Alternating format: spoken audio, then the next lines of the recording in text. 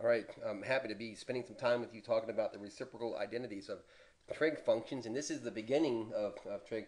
Um, I don't know what trig book you're using. I'm actually usually working out of Swokowski Cole, and it's chapter 5 and 6 and, and part of 7. So this is what happens with most professors is, is they get really excited, uh, where excited means nervous, about the fact that they're going to be talking about trig identities, and they're going to be talking uh, about functions of angles, and all kinds of crazy stuff, the use of fundamental identities to prove things, etc. And we get so freaked out about that um, that we forget to, to really cover the basics with you. So if you've already taken geometry, or if, I don't know where you are, but if you take geometry, your geometry teacher talked to you about some of this stuff. It's really, really important that you bring this with you, though, to your trig class. So if you don't mind, let's go over this. Some of the stuff I'm hoping you already know.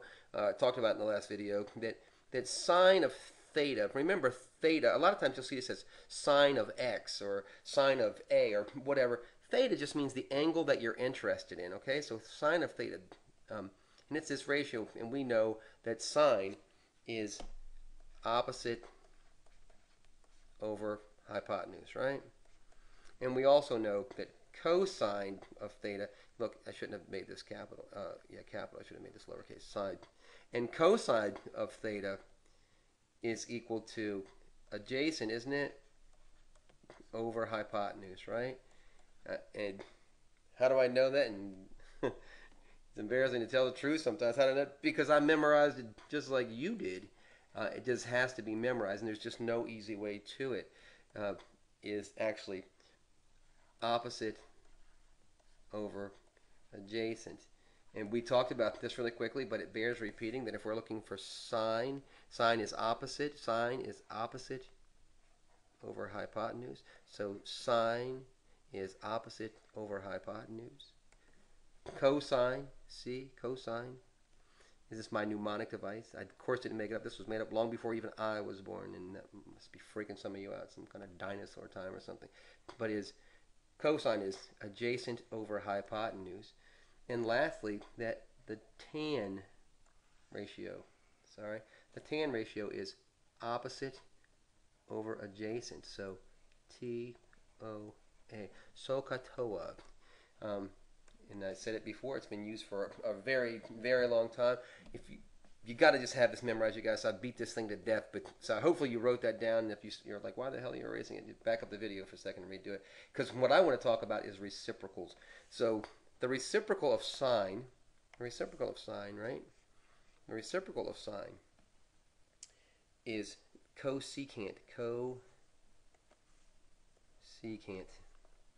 You're like, why are you writing in green? Because I put this is how I remember this stuff.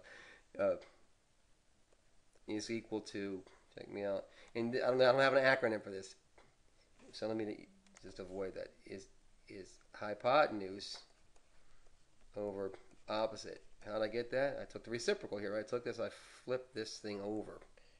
Right? And I'm going to do the same thing for the next one. Cosine, its, reci- its reciprocal, uh, its reciprocal is secant of theta. So it's secant, whoops, no, let me write it this way, is secant of theta. Now, I don't know if you're noticing or not, but this is how I train my mind to remember stupid stuff. And uh, God, I shouldn't have said stupid, but rem- remember trivia that just has to be memorized. And tan, it's it, this one works great because it's tan. Its reciprocal is cotan. Well, that works out nice. It's I mean it's its name is in its reciprocal, and it of course is adjacent, isn't it? Over opposite. How did I get that? I took I took the reciprocal here. So what it was in the denominator, I put in the numerator. Was in the numerator, I put down in the denominator. I did the same thing here. This got flipped over, didn't it? All right. So, go back and you're asking, hopefully you're saying, well, why did you write this in pink? Well, because I'm trying to remind myself. I'm trying to use little tricks, frankly, to remind myself of these things because they, the names don't necessarily make sense why they are the reciprocal of each other. So I have to play this stupid game in my mind to remember this. So you're like, okay, I'll never remember this look, man, you will remember because frankly you have to. Um, uh, oh, oh, this is kind of cool.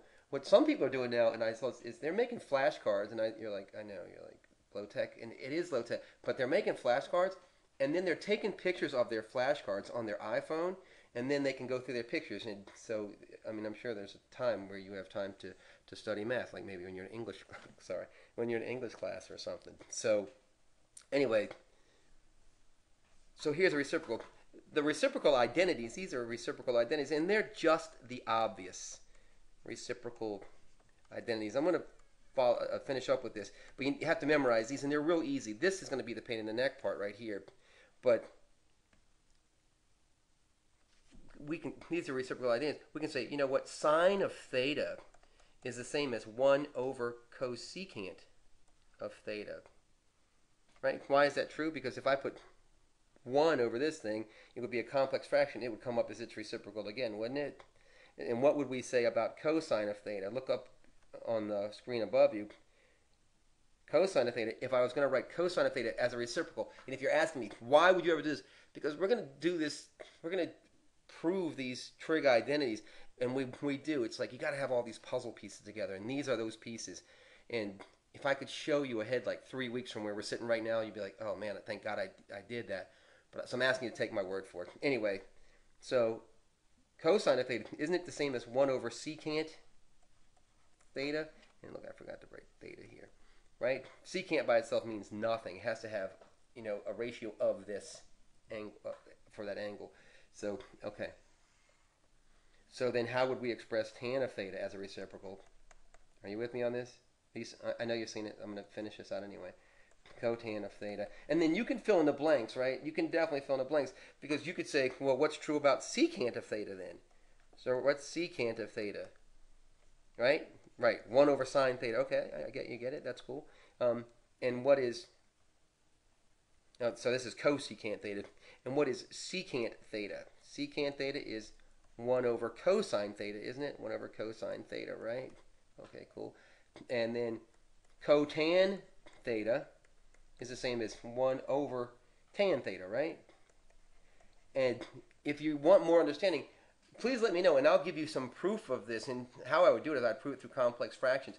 The reason I'm not doing it right now is because what I'm trying to hook you up uh, to believing is that these are pieces that you're going to need later, and they're things you have to memorize. I'm begging you, make the flashcards, practice them at home, put them on your iPhone. I don't know. And, oh, oh, oh, help me with this. If you find like some really cool way of doing flashcards that I never would have thought of, can you like pass it along? Uh, uh, get, give me, uh, you know, tell me how you want me to give you credit for it. I'll give you credit for it. I'm not trying to steal your idea, but you know, the better we can do this, the better we are at this.